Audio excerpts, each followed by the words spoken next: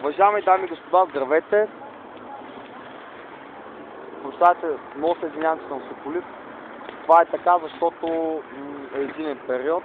Относно дългото управление от а, политическа гледна точка и свикването с навиците, трябва всеки да си носи отговорността. Аз като на, на 37 години всеки е различен, винаги гледате, аз за себе си говоря, аз по този начин си контролирам себе си и е, това, което носи отговорност по принцип. Принципът ми е, че също има ефект дългосрочните управления, дори краткосрочните и хаотично управление в политическа обстановка на държавно ниво, международно, но аз не взимам отношение, защото това е само мнение. Общо мнение като един български гражданин и защо гледам по този начин надолу, защото това е навик, но е професионално. Относно професионализма ми и че гледам по този правилен начин, когато остана тих и професионално се изразявам, винаги проверявам и с очите ми съм доста добре, но ще ви кажа нещо. Никога не използвайте финансовия сектор на един човек, защото много сте свикнали да пипате километърно с мнение. Това на гоните клиенти, хората заминават и в чужбина. Какви агенти? Няма агенти, аз съм агент. Какъв е проблемът? Агент представлява себе си, но трябва да се научите за разликата. За разликата няма компромис.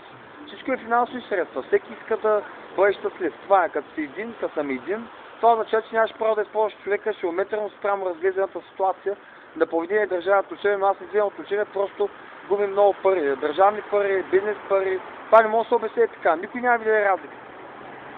Това, че на готово гледате нещо да харчите, да консумирате, после кой ще го възстановява това нещо? Това е свързано с економически общо лишение на много хора с мечти и спокойствие. Относно територията на България като малка териториална обхватност държавата, но от економическа частна гледна точка и международна единично, мога да коментирам следното нещо. Следното нещо мога да коментирам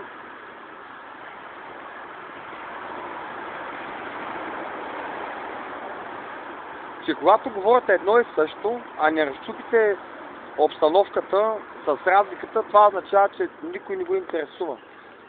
Бизнеса е, в частния период, вечно, за винаги, едно и също, винаги трябва да си гъвкав и да разчупваш през определен период от време на такава държава като България, винаги. Дори на държавно ниво, но да ни губиш същината по начина, по който си изградил самата държава, като държавно ниво, това е като мнение.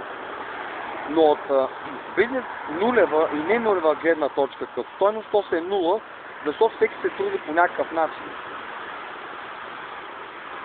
Това е което мога да коментирам, че много хора използват километърната вълна и използват хора, които никой не въртите интриги с семейства по различен начин, защото коментирам нещо, което какво ви е желанието, за какво мразите, кой не мразите. Използвате вашите способности да направите някаква кариера по начин по който да се скриете после и да имате претенция, че сте някой, някой е някой и да се оправдаете по този ефтин начин. Развитието на IT, информационно, технологично, музикално филмата индустрия, там не съм в този жанр професионално, но като разлика, разликата е разлика, но професионално, международно, там не мога да кажа нищо. Защото винаги трябва да констатирате това. Дори не с образование трябва да тренирате спрямо вашите претенции, вашите желания. Това е мое мнение. Много хора са дали мнение, но не го възприемайте, когато сте в една изнервена психологическа ситуация. Винаги гледайте. Аз повтарям, той за мен се отнася това нещо по този начин помагам на себе помагам и на някакъв човек, който без да го познавам, съм констатирал така.